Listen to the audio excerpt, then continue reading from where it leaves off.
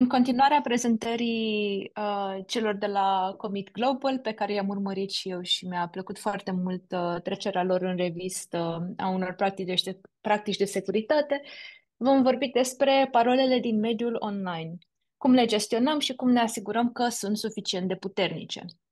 Eu sunt Alex Ștefănescu, folosesc pronume feminine, Um, adresa mea de e-mail este pe slide și o să apară și la final. Uh, dacă aveți orice întrebări care necesită un pic mai multe discuții nuanțate, puteți să-mi trimiteți oricând un e-mail. Un scurt uh, intro despre Asociația pentru Tehnologie și Internet APTI. Suntem un ONG românesc, facem advocacy, educație și conștientizare și uh, subiectul nostru principal este lumea digitală. Vrem să vrem o traducere corectă a drepturilor omului în mediul digital. Vrem ca cei legali pe internet uh, și cei ilegali pe internet să reflecte cei ilegali și ilegal în lumea reală. Și vrem, uh, mai presus de orice, respectarea drepturilor fundamentale ale omului. Hai să discutăm despre parole. Am putea să ne gândim că e un subiect pe care îl terminăm în 5 minute și totuși o să stăm vreo 45 de minute pe el. Și uh, o să trecem prin uh, ce e așa de greu la parole, care sunt uh, câteva dintre pericolele la care ne expunem atunci când nu dăm uh, suficient timp și considerație alegerii unei parole bune și o să intru și în subiectul uh, dincolo de parole, pentru că există mecanisme încă și mai puternice de a ne proteja conturile online și aș vrea să vorbim și despre ele. Multe parole, din păcate, sunt destul de ușor de ghicit sau de generat atunci când uh, persoanele care le aleg aleg să facă, să folosească parole foarte scurte sau aleg să folosească uh, nume sau date calendaristice foarte ușor de intuit.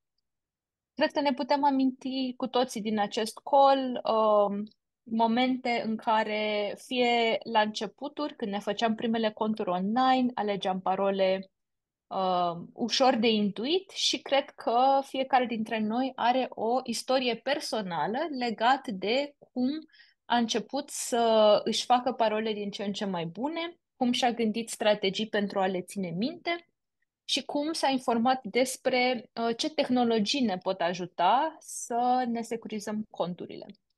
Um, în prezentarea asta, eu o să încerc să adaug la aceste istorii personale și aș vrea să vă invit să nu luați uh, tot ceea ce spun eu drept literă de lege, ci să vă inspirați din ceea ce spun eu și să aduceți în istoria voastră personală elementele pe care, considerați, pe care le considerați ajutătoare. Nu tot ce spun eu aici trebuie aplicat astăzi, dar dacă aplicăm un lucru, ori și cât de mic, suntem un pic mai în siguranță decât am fost la ora 9 în dimineața asta. Știm că unele parole ajung să fie scrise pe un sticky note pus pe monitor, ba chiar am văzut uh, inclusiv în uh, filmări din uh, instituții sau din companii chestia asta. Nimeni nu este mai presus de a scrie parola pe o foicică, mai ales atunci când trebuie repede să-și seteze o parolă și uh, mai ales atunci când trebuie să setăm o parolă pe un cont pe care le vom, îl vom împărți cu încă o persoană. Cel mai grav, poate, este că unele persoane pot fi convinse sau constrânse să divulge parola indiferent cât de deștept este algoritmul după care ne alegem parole, el devine inutil atunci când suntem constrânși și noi cu toții putem fi constrânși în diverse momente. Uh, dar dincolo de constrângere mai este și latura aceasta de convingere. Uh, mai ales în uh, relațiile dintre persoane există ideea asta, concepția asta, că dacă ai încredere în mine o să-mi dai parola ta. E o chestie pe care o auzim și la persoane foarte tinere, dar o auzim și în familie, um, pentru conturi care sunt uh, partajate în familie și o auzim și în relațiile romantice. Uh, există mecanisme tehnice care fac posibil ca chiar și atunci când ne spunem parola unei persoane, totuși acea persoană să nu poată să intre în conturile noastre și o să vorbim despre asta un picuț în partea a doua a prezentării. Dar, pentru început, hai să discutăm despre cât de ușor de ghicit sau de generat sunt parolele. Uh, în fiecare an, din 2020 încoace, o companie numită Hive Systems produce un tabel care ne arată cât de ușor sunt de spart parolele. Am tradus aici tabelul ăsta în limba română, poate că unii dintre voi l-ați mai văzut deja pe internet. Um, cu verde sunt uh, marcate uh, parolele ideale. Deci, ideal, o parolă ar trebui să aibă un pic peste 18 caractere sau fix 18 și în lumea cea mai bună ar trebui să conțină numere, litere mari, litere mici și simboluri. Vedem că și dacă are peste 18 caractere și conține doar litere mari și litere mici, este în continuare destul de greu de spart. Um, când spun spart, mă refer la faptul că există două metode care se pot folosi împreună pentru a sparge parole. O metodă este de a folosi un program software care pur și simplu încearcă toate combinațiile de litere mari, după aia toate combinațiile de litere mari și litere mici, după aia adaugă și numere și tot așa.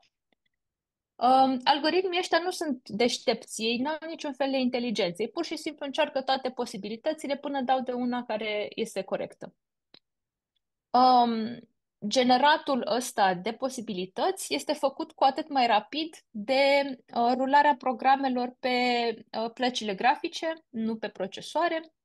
Și în momentul de față, uh, deși suntem tehnologic la un nivel la care uh, avem algoritmi foarte performanți, totuși nu putem genera uh, toate posibilitățile de 18 caractere care să conțină, de exemplu, doar litere mari și litere mici în timp util, chiar și cu cele mai performante plăci grafice. Așa că ăsta este motivul pentru care o să auziți uh, în uh, sfaturile și recomandările de securitate ca parolele să fie lungi. De obicei, uh, eu recomand un număr rotund, 20 de caractere, e și ușor de ținut minte și ne protejează și ca peste 2-3 ani când tabelul ăsta o să, o să fie scris din nou, în caz că uh, hardware-ul ajunge suficient de performant încât și a treia coloană să fie toată cu roșu, totuși noi cu o parolă de 20 de caractere ne-am protejat. Um, un alt lucru care se întâmplă și este foarte real este că parolele apar în licuri. Licurile sunt, uh, sunt uh, volume de obicei foarte mari de date care sunt sustrase de pe anumite site-uri sau de pe anumite companii și sunt publicate în mediul online. De obicei sunt publicate pe niște forumuri pe care, uh, pe care stau și pe care activează persoane din domeniul securității cibernetice, fie uh, pe partea de protejare, fie pe partea de atac. Și aceste volume mari de date uh, sunt obținute de hackeri, uneori ele sunt uh, publicate direct atunci când aceștia vor să discrediteze sau să facă rău unei companii, uneori ele sunt folosite pentru a cere o răscumpărare, iar dacă compania sau organizația nu răscumpără datele, ele sunt publicate. Există un site super fain, se numește haveibeenpwned.com, pe care voi puteți să verificați dacă o adresă de e-mail a voastră a fost găsită într-un leak. Aveți aici un cod QR dacă vreți să faceți exercițiul ăsta în timpul prezentării mele, dar vreau să vă arăt foarte, foarte repede uh, cum arată și o să folosesc chiar două e mail ale mele. Ăsta este site-ul. Uh, tot ce trebuie să faceți este să introduceți aici o adresă de e-mail. Asta e adresa mea de e-mail care apare în slide-uri și dacă verific cu ea acum, din fericire ea nu a apărut niciun leak. Dar dacă ar fi să folosesc o adresă de e-mail mai veche a mea, una din primele mele adrese de e-mail principale de pe internet, o să vedem că ea a apărut în câteva leak-uri, a apărut într-un leak din MyFitnessPal din anul 2018 și într-un leak foarte, foarte recent de la Twitter, de, mă rog, X acum, uh, despre care încă, încă ies informații în spațiu public. Pentru fiecare leak puteți să vedeți ce anume a conținut acesta. De exemplu, leak-ul din 2018 conținea adrese de e-mail, adrese de IP, parole și nume de utilizator. puteți să verificați și voi uh, dacă adresele voastre au apărut în licuri. Și revenim la prezentare. Um, ce se întâmplă cu datele dintr-un leak? Hackerii, persoanele care vor să obțină acces la conturile noastre online, vor lua toate datele dintr-un leak și atunci când acest lucru este posibil, pentru că nu e tot timpul posibil, vor încerca să automatizeze încercări de a folosi e mail și parola pe site-ul de pe care a fost uh, sustrasă informația. De exemplu, în cazul mai de sus, uh, cineva ar putea să intre pe MyFitnessPal și să ia toate datele din leak ăsta din 2018 și să încerce să intre în conturile de utilizator. Ce ar putea să obțină de acolo? Păi, de exemplu, ar putea să descopere că cineva și-a asociat uh, contul bancar cu, cu MyFitnessPal, pentru că MyFitnessPal cred că avea și o variantă plătită, deși nu sunt 100% sigură și dacă, uh, dacă MyFitnessPal are date despre cardurile de credit ale utilizatorilor săi, un hacker ar putea să obțină aceste date dacă ele sunt în clar în setări. Nu e nimic personal în aceste automatizări. Hackerii pur și simplu vor să vadă ce pică. Și din ce pică, ei o să vadă mai departe dacă sunt informații care pot fi folosite, dacă pot fi instrumentalizate pentru răscumpărări, dacă sunt informații interesante de la persoane publice. Uh, automatizările astea ale datelor din licuri uh, rare ori uh, vizează o persoană anume. De obicei, ele sunt încercări. Pe internet, automatizările astea rulează absolut constant. Um, ele nu, nu se termină niciodată pentru că nu știi niciodată când cineva își schimbă o parolă sau revine la o parolă mai veche. Și atunci cea mai bună metodă de a ne proteja împotriva acestor uh, automatizări este să uh, folosim în primul și în primul rând uh, o parolă sigură, să ne asigurăm că site-urile pe care ne facem conturi sunt cât de cât reputabile, deși a, a, ați văzut împreună cu mine că unul din licuri vine de la Twitter. Dacă nici Twitter nu are practici de securitate cât de cât ok, atunci de la cine să ne așteptăm? Uh, cu toate acestea, șansele ca uh, datele noastre să apară într-un link sunt mult mai mari atunci când alegem să folosim, de exemplu, uh, website-uri care comercializează lucruri și care nu par uh, făcute temenic decât atunci când alegem să folosim niște servicii reputabile. Uh, acestea fiind spuse, uh, vrem, ar trebui să ținem cont și de faptul că mulți dintre noi, chiar și eu, folosesc aceeași parolă pe mai multe site-uri sau aplicații. Deci, se prea poate ca unul din aceste licuri să fi venit de la o, un site pe care noi ne-am făcut un cont doar așa ca să-l încercăm, uh, acum nu știu câți ani, am și uitat de el și din cauza că refolosim aceeași parolă, uh, ea să fie sustrasă din acel leak și folosită cu niște conturi principale și importante. De exemplu, un hacker ar putea să, să mizeze pe faptul că oamenii refolosesc parolele și în loc să încerce username-ul și parola pe site-ul de pe care a venit leak să le încerce pe Gmail, pe contul noastre de Google.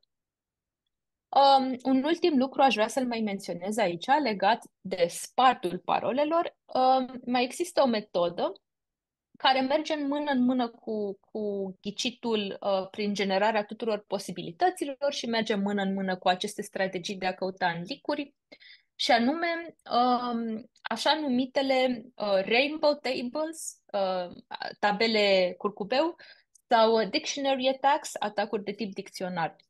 Aceste, acestea sunt nume date unei tehnici prin care un hacker nu generează toate posibilitățile, ci are niște fișiere cu uh, cuvinte și uh, modele foarte des întâlnite în parole. De exemplu, uh, cuvinte precum nume proprii, nume de organizații, titluri de melodii și așa mai departe.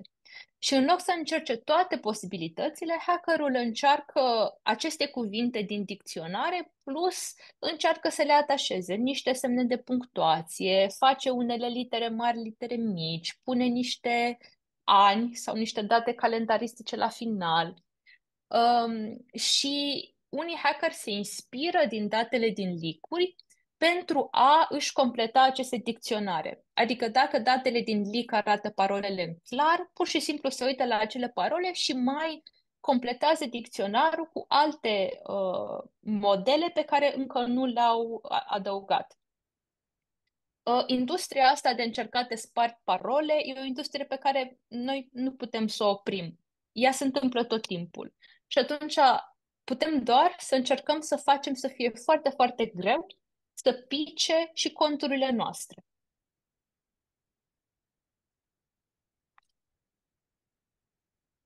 Să discutăm acum despre cum putem să obținem parole mai sigure. Uh, putem, în primul rând, să avem o rețetă pentru creat parole sau putem folosi un software de tip manager de parole. O să discutăm despre ambele posibilități în detaliu. De exemplu, dacă vrem să facem o rețetă de creat parole, uh, ne setăm ca uh, obiectiv să avem parole de minim 20 de caractere, cu litere mari, litere mici, numere și un simbol. Și vă dau aici un exemplu de o, uh, de o rețetă. Să zicem că folosim simbolul arond plus un nume de stradă scris cu literă mare la început de cuvânt, cum se scrie și pe adresă, plus un număr de bloc plus scară, de exemplu și obținem ceva de genul Strada Roșia Montană 6, bloc 07. E o, e o adresă care chiar e reală, nu știam că există Strada Roșia Montană. Um, și în felul ăsta, noi ținem minte care e rețeta după care ne-am creat parola și nu trebuie neapărat să ne încărcăm memoria și cu parola în sine. Uh, o rețetă ne ajută foarte mult și atunci când vrem să avem parole diferite. De exemplu, în loc să folosim o parolă care începe cu arond, putem să punem în fața arondului numele site-ului. Uh, Facebook, Arond, Strada Roșia Montană, etc. Um, Glovo, Arond, Strada Roșia Montană, etc. În felul ăsta, când intrăm pe un site, noi ne știm rețeta, știm cum se numește site-ul și ne, ne uh, generăm în mintea noastră parola. Suntem, practic, propriul nostru generator de parole. Un alt exemplu care ar putea să creeze parole sigure este un nume de persoană, mai ales dacă are cratim în nume, plus anul nașterii persoanei respective. Am luat aici ca exemplu numele unei scriitoare uh, românce care este și destul de lung și anul nașterii este real.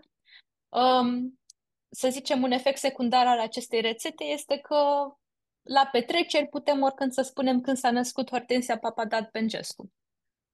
Uh, sigur, asta e doar o glumă, dar în orice caz este și asta o rețetă care poate fi utilă. Și la fel, la această rețetă se poate adăuga numele site-ului sau numele organizației plus numele site-ului și așa mai departe. Noi ținem minte rețeta și apoi o variem funcție de locul unde folosim parola. O altă posibilitate pentru a genera parole sigure este să folosim un manager de parole. Și aici am dat câteva exemple de manager de parole, funcție de care sunt criteriile după care ni-l alegem. Spre exemplu, dacă vrem să folosim un manager de parole doar pe calculator, să zicem că avem un calculator de muncă și ne alegem un manager de parole doar pentru muncă. Atunci, recomandarea mea personală este KeePass sau oricare din variantele derivate din acesta. KeePass X, KeePass XC, uh, sunt denumiri diferite funcție, funcție de platformă.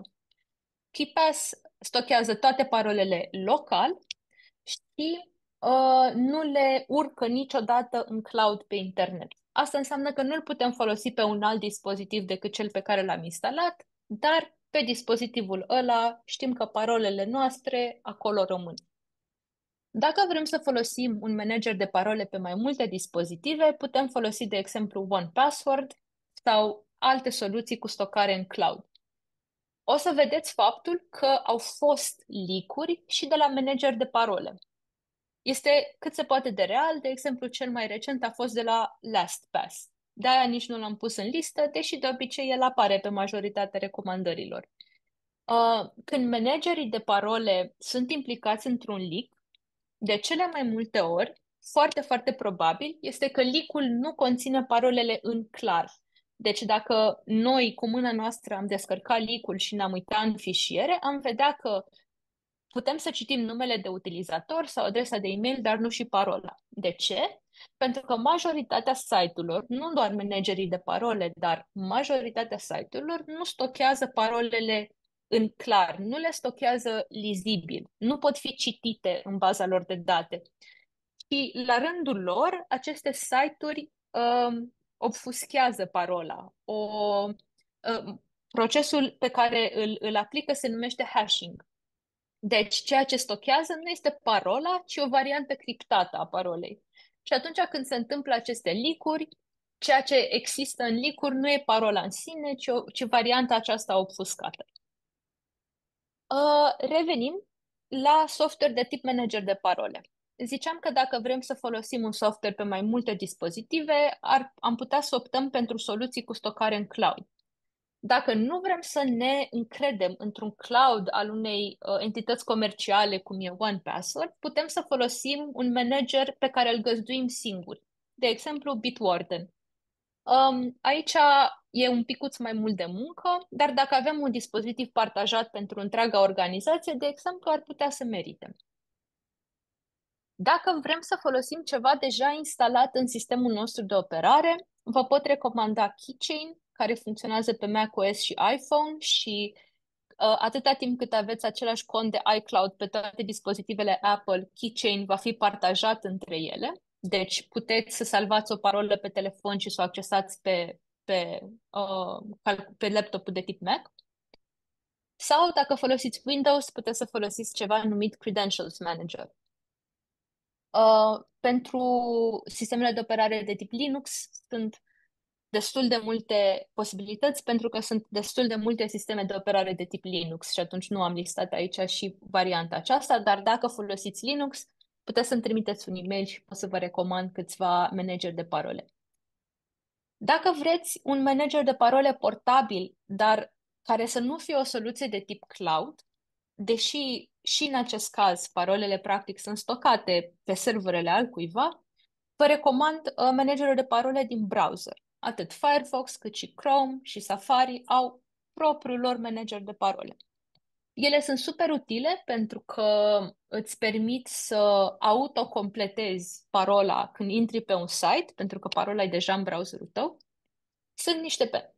sunt niște manageri de parole uh, siguri, sigure, uh, și uh, sunt portabile. Pentru că dacă avem de exemplu, dacă folosim Firefox pe mai multe calculatoare diferite, dar avem același profil de Firefox, adică vedem aceleași bookmark-uri, vedem aceleași site-uri în bara de sus uh, și uh, avem managerul de parole partajat între aceste browsere, putem practic să ne mutăm parolele de pe un calculator pe celălalt.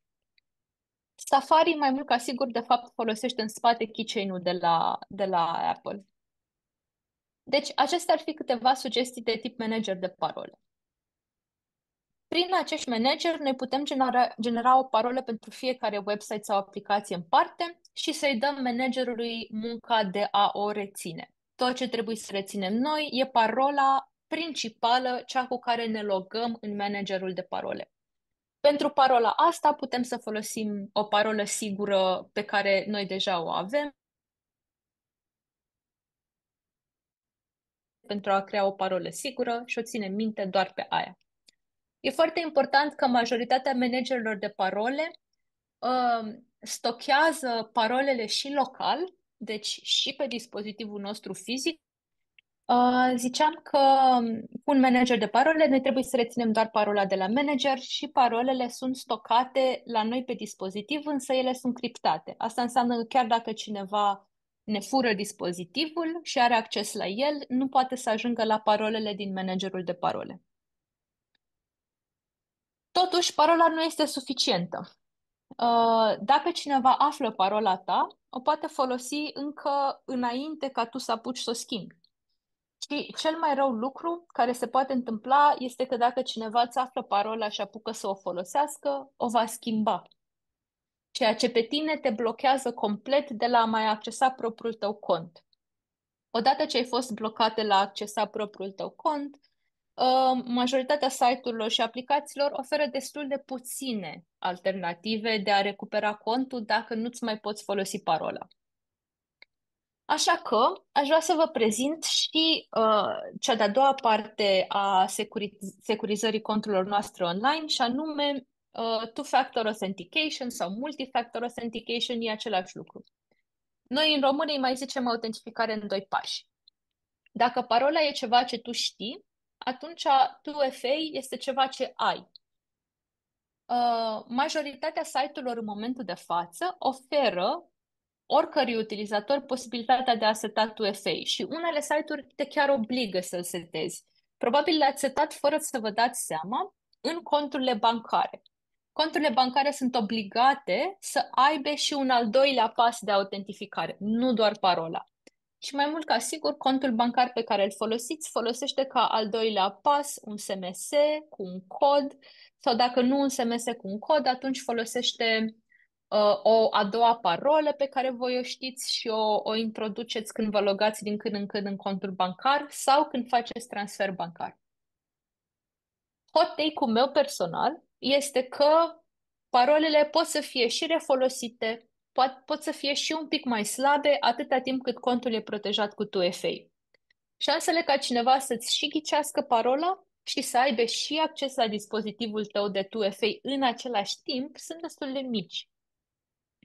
2FA-ul ne mai protejează de încă un lucru. Dacă cineva ne ghicește parola generând-o sau pentru că există într-un leak sau pentru că o generează cu un dicționar, totuși nu poate intra în contul nostru pentru că avem 2FA activat. Să discutăm un picuț de uh, tipuri de 2FA. Uh, când vrem să setăm un 2FA, intrăm de obicei în zona de setări a aplicației sau a site-ului pe care vrem să adăugăm această protecție. Și o să vedem o secțiune care ne, ne a, a, permite să alegem cum vrem să fie al doilea pas de autentificare. Putem de obicei să alegem între un SMS pe care îl primim pe numărul de telefon mobil cu un cod, putem să alegem să generăm un one-time code cu o aplicație și o să dau un exemplu de aplicație, Putem să alegem push notification pe un alt dispozitiv. Putem să alegem un 2FA biometric de tip amprentă sau Face ID și acestea sunt valabile pentru telefoanele mobile, tabletele sau laptopurile care au amprentă sau Face ID. Sau putem alege un dispozitiv fizic. Orice am alege, odată ce alegem un tip de 2FA, uh, site-ul respectiv o să, ne, o să ne genereze și niște backup codes Acestea sunt coduri pe care am face foarte bine să le salvăm și să nu le ignorăm, pentru că ele ne permit să le folosim în locul 2FA-ului dacă n-am pierdut dispozitivul sau dacă nu avem acoperire mobilă să primim un SMS sau dacă dispozitivul nu mai funcționează. Deci, backup codurile pe care ni le generează sunt un fel de, în caz de pericol, sparge geamul sunt niște soluții secundare de a folosi 2FA-ul dacă uh, principalul mod nu mai funcționează. Pentru că putem să ne imaginăm că, de exemplu, dacă ne setăm un 2FA cu SMS și suntem într-o zonă fără acoperire, atunci nu avem cum să primim un SMS. Asta este aplicația Authenticator de la Google, este o aplicație de mobil care uh, ne permite să generăm coduri de 2FA. Uh, majoritatea uh, managerilor de parole care funcționează în cloud au integrat și un generator ca acesta. Partea proastă e că și pentru 2FA-uri s-au găsit niște atacuri. Uh, unii hackeri creează pagini false de login care conțin inclusiv pasul ăsta cu al doilea factor de autentificare. Ce fac ei? E că încearcă să ne păcălească, să ne logăm pe aceste pagini false și dacă, să zicem, nu suntem atenți și încercăm să ne logăm, noi ne, trimit, noi ne punem acolo username-ul, ne punem acolo parola și în al doilea pas ne punem și 2FA-ul real. Aceste informații sunt trimise de hacker mai departe către site-ul adevărat.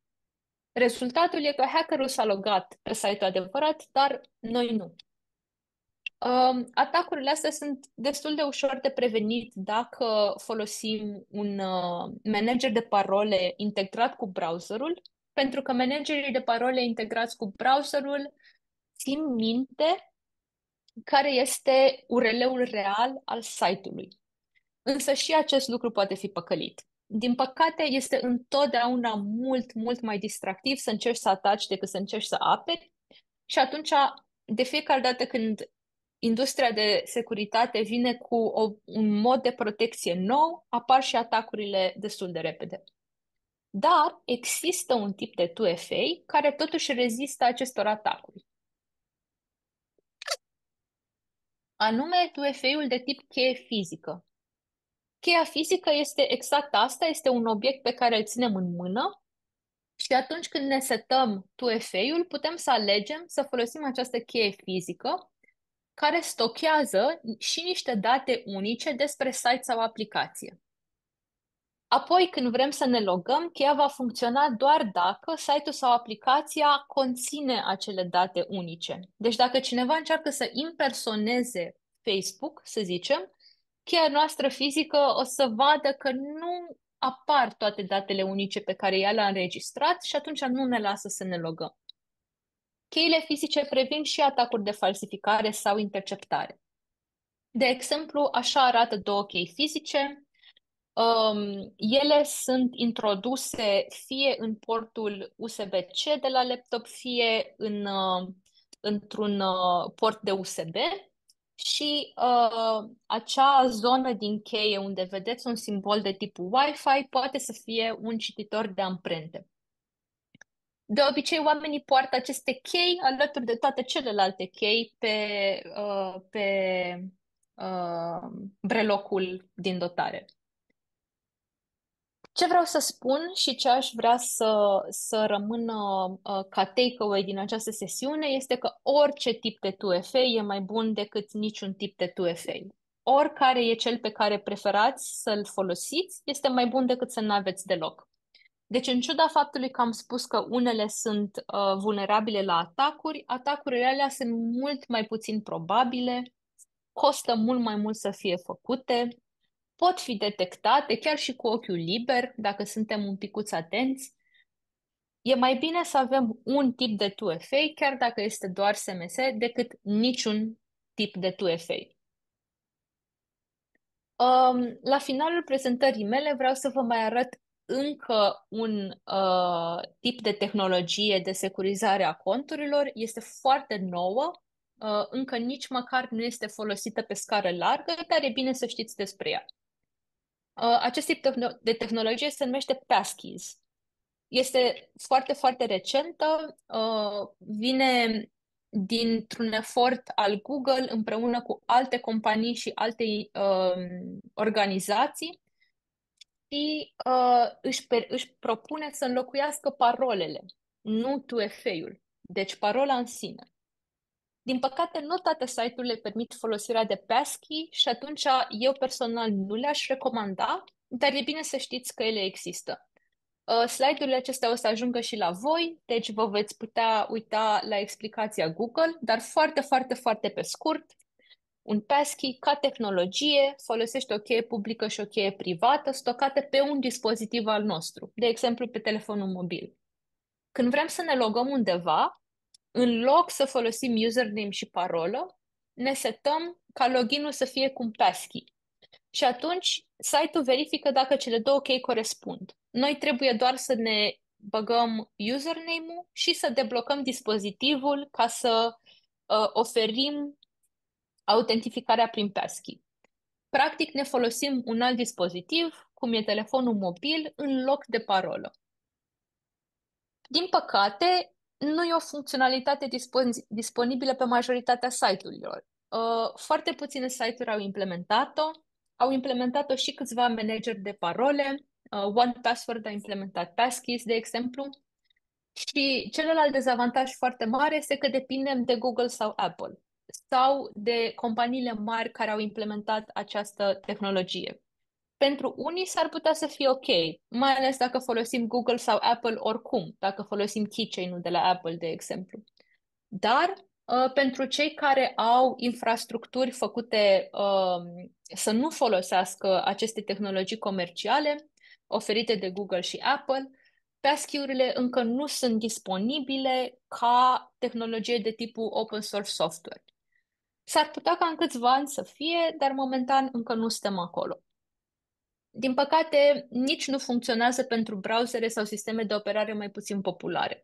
Adică dacă lucrăm pe dispozitive care rulează Linux, dacă folosim browsere precum Opera sau alte browsere, din păcate nu avem acces la aceste tipuri de tehnologie. Uh, în câțiva ani s-ar putea să fim în cu totul alt loc și s-ar putea să nu mai folosim parole, cel puțin nu așa de des cum o facem acum, însă momentan nu suntem acolo. Foarte, foarte, foarte pe scurt, ce v-aș invita eu după această prezentare sau, de fapt, după prezentările din ziua de astăzi, este să vă activați 2FA peste tot unde se poate. Foarte multe site-uri implementează 2FA, aș spune chiar majoritatea site-urilor pe care aveți conturi implementează 2FA în momentul de față. Indiferent ce metodă alegeți, este mai bine decât nimic. 2FA-ul vă va proteja de momentul în care parola voastră va fi ghicită sau spartă. Mai mult decât atâta, vă recomand să folosiți fie o parolă, fie un PIN, fie o amprentă, fie Face ID pe toate dispozitivele voastre. Nu doar pe smartphone, dar și pe tabletă, și pe laptop, și pe calculator.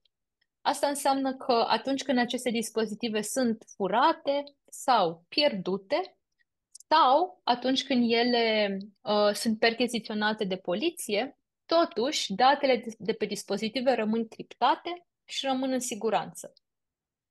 Uh, din păcate, nici chiar majoritatea modurilor de criptare nu ne salvează chiar de absolut orice, pentru că, din nou, este mult mai distractiv să ataci și există moduri de a sparge și de a evita uh, să, să uh, trecem prin pasul ăsta de a ghici parola sau pinul, însă sunt atât de costisitoare și atât de puțin întâlnite, încât pe majoritatea persoanelor le va salva chiar și un pin pe telefon. Deci, chiar dacă există niște moduri de a sparge uh, unele din aceste tipuri de criptare, pentru că unele tipuri de criptare în continuare nu pot fi sparte, nu ar trebui să ne uh, luăm după drobul de sare, nu ar trebui să ne gândim pe modelul cofi copății, ci ar trebui să ne punem o parolă pe care să o ținem minte, care să fie uh, ușor de recuperat chiar și în mintea noastră, dacă să zicem am uitat care e forma ei exactă, și să o folosim pe toate dispozitivele noastre. Nu știm niciodată când ne uităm laptopul în tren, când uh, trebuie să-l ducem la un service și atunci vrem ca persoana care face service să nu poată să ne acceseze datele uh, sau când se pot întâmpla alte nenorociri. Am lăsat în această prezentare și câteva resurse uh, pe care vă invit să le citiți și pe care vă invit să le împărțiți cu persoanele cu care lucrați. Vă mulțumesc foarte mult pentru atenția voastră și aștept întrebări.